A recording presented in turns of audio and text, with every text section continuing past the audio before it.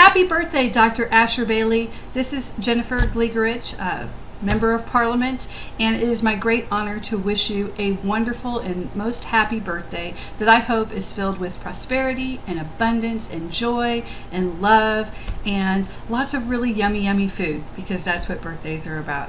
Anyway, happy birthday, and I hope you have a wonderful day, and I hope this next coming year um, you achieve everything that you desire. Happy birthday.